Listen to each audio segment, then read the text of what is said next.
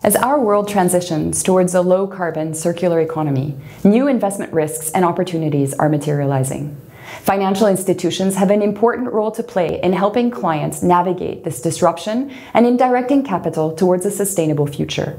The self regulation designed by the Swiss Bankers Association is a significant step in this direction. It introduces sustainability considerations in standard banking and advisory processes and improves transparency. As the world's leading cross border wealth manager, Switzerland has great potential for increasing client insights and therefore the potential for positive impact of their portfolios.